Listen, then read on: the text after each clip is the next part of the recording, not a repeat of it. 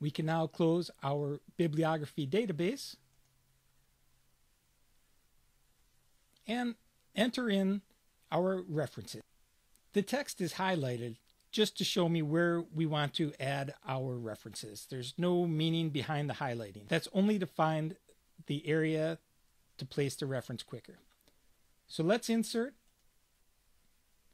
indexes and tables, bibliography entry. Now this is saying from the bibliography database, and it's asking us if we want this first one, ODT 39A. We also have our B in there. So we want A, and this shows us that it is John Smith, the great book title. We're going to insert.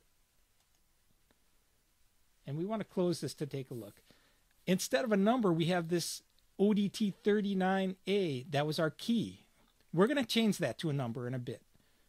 But this is the default, so we're sticking with this for the moment. And the second one, just like the first, insert, indexes and tables, bibliography entry from the bibliography database, and B. Insert. Close. So we see that we have our two from our database referenced. Let's put in the third. Now the third, I'm going to insert indexes and tables, bibliography entry. But this one, I want to enter from the document content. And if we remember, we want this to be Susan Anderson. So let's enter that in by new.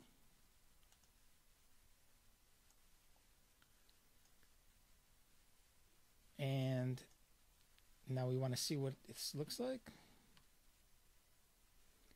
We need to give it a short name.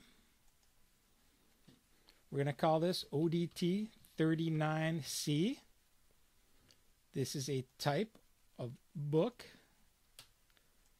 The author was Susan Anderson. The other great book title Chicago, Press Publishing, 2011. So now we've entered that into the document, and now we want to insert that into our text.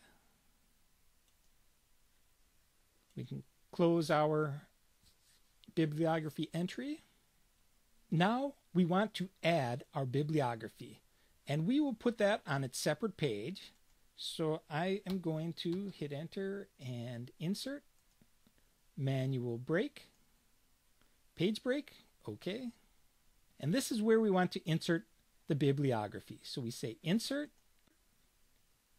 indexes and tables, indexes and tables. This time we change the type to bibliography. Clicking OK, there we have our basic bibliography. Now it's in there, but it's not quite right. First of all, I said I was going to make these numbers, and let's do that right now. I'm going to right click and open up the edit index table and I'm going to check number entries. Clicking OK. Now we can see these are numbered. One, two, three. Let's go up and check and see these. Yep. One, two, three. So those look pretty good.